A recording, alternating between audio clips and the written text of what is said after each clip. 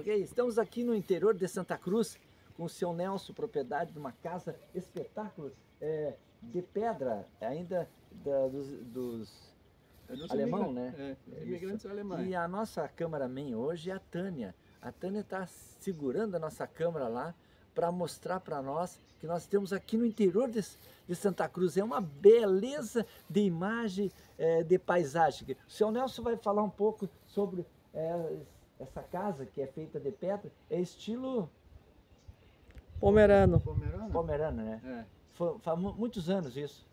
Isso foi, eu acho que no início de década de no- 90, não, não, No- 900, né? Porque 900, eles vieram em é. 851. 851 vieram. É.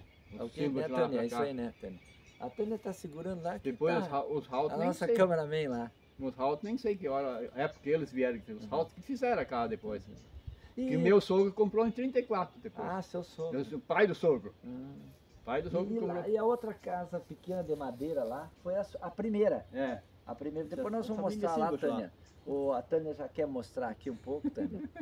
já quer mostrar. Então o cameraman Tânia vai passar com nós aqui, tá o cameraman?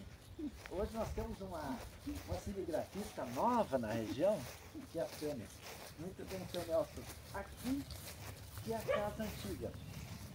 Ó, essa casa de madeira.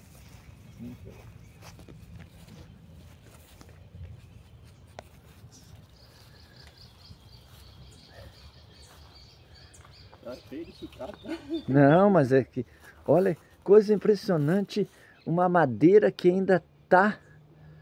olha a janelinha lá, ó.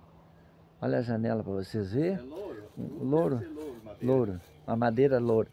Vamos mostrar para vocês. Madeira grossa e cortada tudo a traçador ainda. Mas olha que bonito lá.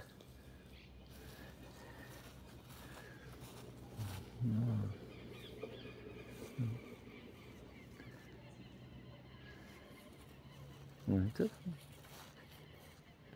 Eu tinha que ter mais verba para manter isso melhor.